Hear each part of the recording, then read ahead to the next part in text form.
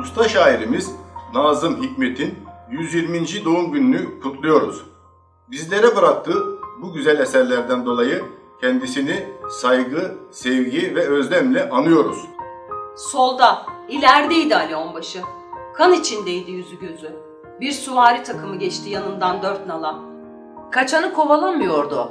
Yalnız ulaşmak istiyordu bir yerlere. Ve sadece kahretmiyor, yaratıyordu da. Ve kılıçların, nalların, ellerin ve gözlerin pırıltısı ard arda çakan aydınlık bir bütündü. Ali Onbaşı bir şimşek hızıyla düşündü ve şu türküyü duydu. Dört nala gelip uzak Asya'dan Akdeniz'e bir kısrak başı gibi uzanan Bu memleket bizim!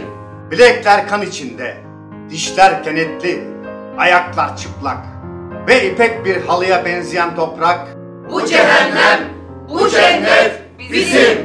Kapansın el kapıları. Bir daha açılmasın. Yok edin insanın insana kulluğunu. Bu davet bizim! Yaşamak bir ağaç gibi tek ve hür ve bir orman gibi kardeşçesine. Bu hasret bizim!